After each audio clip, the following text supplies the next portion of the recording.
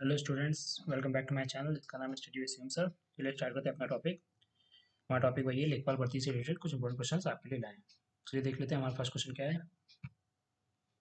हमारा first question है, निम्नलिखित में से कौन पूर्व की ओर बहने वाली नदी है? ऑप्शन है, पहला, Sabarmati B Saraswati C Mahi D Brahmani. तो इसका सही आंसर क्या होगा? इसका सही आंसर होगा ऑप्शन डी ब्राह्मणी। नदी जो है वो पूर्व की ओर बहने वाली नदी है। नेक्स्ट क्वेश्चन है the author of the book Hazaar Chaurasi की माँ? हज़ार चौरासी की माँ लेखक कौन है? ऑप्शन हमारे पास A Rita Kothari B Sugata Kumari C Mahasweta D Krishna Sobti तो इसका सही आंसर क्या होगा? इसका सही आंसर होगा ऑप्शन सी महाश्वेता देवी हज़ार चौरासी की माँ पुस्तक के लेखक कौन है? तो कौन है? महाश्वेता देवी है। नेक्स्ट क्वेश्चन है नदियों और उनकी सहायक नदियों के संदर्भ में निम्नलिखित में से कौन सा युग्म सही है? जो ऑप्शन आपके सामने दिए हैं, इसमें कौन सा सही है जोड़ा है, वो आपको बताना है। पहला दिया हुआ अलकनंदा, पिंडार। ऑप्शन बी है सिंधु सुबनसिरी सी है गोदावरी, काबिनी। और डी है कृष्णा मंजरा इसमें सही ऑप्शन कौन सा है? तो इसका आंसर होगा ऑप्शन ए अलकनंदा, पिंडार। ये युग्म क्या है? सही है। नेक्स्ट क्वेश्चन है निम्न में से कौन मध्य प्रदेश का एक विरासत स्थल है? ऑप्शन हमारे पास A Hampi B Sasaram C Bhimbetka D Lepakshi. तो इसका सही आंसर होगा ऑप्शन सी भीमबेटका। ये विरा, विरासत स्थल है कहाँ का? मध्य प्रदेश का। नेक्स्ट क्वेश्चन है। Which of the following states does not share its boundary with Bhutan निम्नलिखित में से कौन सा राज्य भूटान के साथ अपनी सीमा साझा नहीं करता है? ऑप्शन हमारे पास A Sikkim B Arunachal Pradesh C Paschim Bangal D Meghalaya. इसका सही आंसर होगा ऑप्शन डी मेघालय। मेघालय राज्य भूटान के साथ अपनी सीमा साझा नहीं करता है। नेक्स्ट क्वेश्चन है। अर्चना कामत किस खेल से जुड़ी है? ऑप्शन है A badminton B lawn tennis C table tennis D squash सही आंसर होगा ऑप्शन सी टेबल टेनिस से जुड़ी है Archana Kamath. Next question the SASTRA Ramanujan पुरस्कार किस क्षेत्र में प्रदान किया जाता है? ऑप्शन है ए गणित बी नृत्य सी साहित्य डी रसायन विज्ञान। इसका सही आंसर होगा ऑप्शन ए, गणित में प्रदान किया जाता है। शास्त्र, रामानुजन पुरस्कार, गणित क्षेत्र में प्रदान किया जाता है। Next question dreams from my father पुस्तक के लेखक हैं। ऑप्शन है आपके पास A Charles Darwin B Naveen Chawla C Barack Obama D Olivia. तो इसका सही आंसर होगा option C Barack Obama. Dreams from my father के लेखक कौन है? Barack Obama.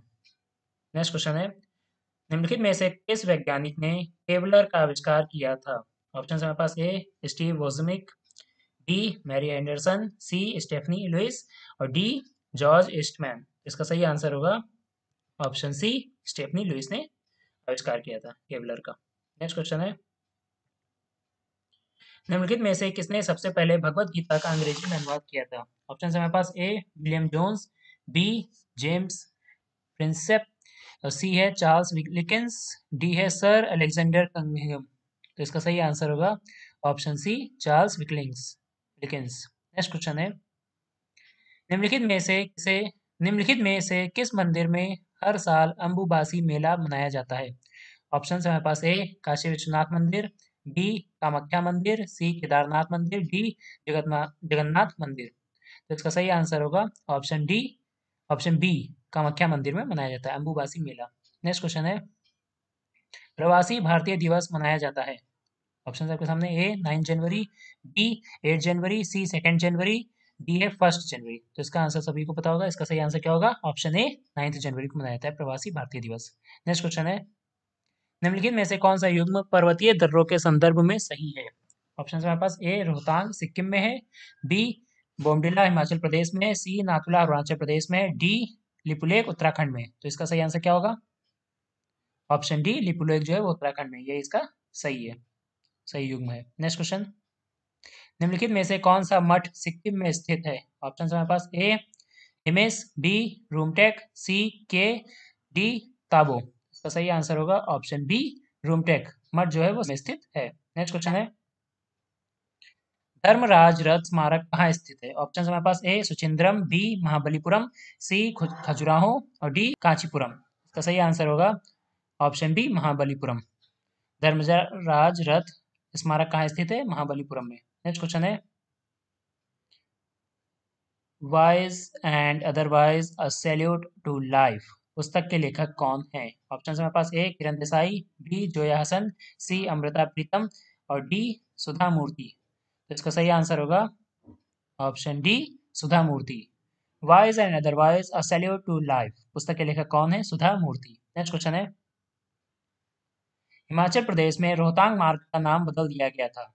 ऑप्शन है हमारे पास ए, स्वराज, बी, अटल सुरंग, सी, बोस सुरंग, डी, मुखर्जी सुरंग। इसका सही आंसर सभी को पता है। ऑप्शन बी, अटल सुरंग। हिमाचल प्रदेश में रोहतांग मार्ग का नाम बदल दिया गया। क्या नाम है? अटल सुरंग के नाम से उसको रखा गया। नेक्स्ट क्वेश्चन नृत्य रूप और उसके अवस्था ही जोड़ों की, जोड़ी की पहचान कीजिए, चयन करिए।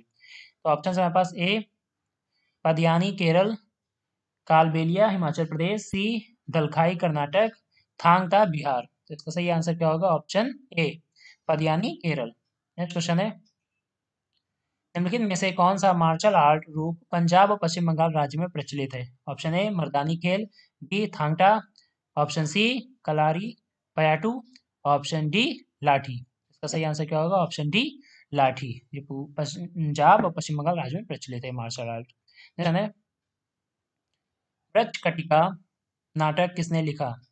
जो एक सामाजिक नाटक है, जिसमें गंभीर वास्तविकता का स्पर्श है। ऑप्शन हमारे पास है, Kalidas, B, Magh, C Shudraka D, Raidas. इसका सही आंसर होगा ऑप्शन सी शूद्रक ने लिखा। नेक्स्ट क्वेश्चन है। विश्व का एकमात्र तैरता हुआ डाकघर किस झील पर स्थित है? ऑप्शन हमारे पास डल झील पर, बी, चिल्का झील, सी, वुलर झील, डी, वुलर झील। ये लोकटक झील। ऑप्शन डी हमारा क्या? लोकटक झील। तो इसका सही होगा, ऑप्शन ए डी पर स्थित है। नेक्स्ट क्वेश्चन है। निम्नलिखित में से किसे आंध्र केसरी के नाम से जाना जाता था? ऑप्शन हमारे पास A Khan Abdul Ghaffar Khan B Chittaranjan Das C T Prakasam D Mahatma Gandhi. इसका सही आंसर क्या होगा? ऑप्शन सी टी प्रकाशम को आंध्र केसरी के नाम से जाना जाता था। नेक्स्ट क्वेश्चन है हमारा। On which date is national sports day observe in India Bharat में राष्ट्रीय खेल दिवस किस तारीख को मनाया जाता है? ऑप्शन हमारे पास है सितंबर, सत्रह सितंबर को। बी पाँच जुलाई सी, उनतीस अगस्त, डी, फोर्थ मई। तो क्या होगा इसका सही आंसर? ऑप्शन सी, उनतीस अगस्त को मनाया जाता है। स्टूडेंट ये हमारा आज लास्ट का क्वेश्चन था।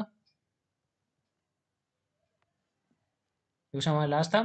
आज के लिए इतना ही। अगर आपको वीडियो अच्छा लगा प्लीज़ वीडियो को लाइक करिए चैनल सब्सक्राइब करिए, और उसके बेल बेल आइकन को प्रेस करिए, ताकि आने वीडियो की नोटिफिकेशन आपको मिलती रहे। अगर आपको वीडियो अच्छा लगा प्लीज़ वीडियो को ज़्यादा से ज़्यादा शेयर करिए जो लोकपाल भर्ती की हमारी प्रिपरेशन चल रही है वो सभी लोगों तक पहुँच सके। आज के लिए इतना थैंक यू क्लास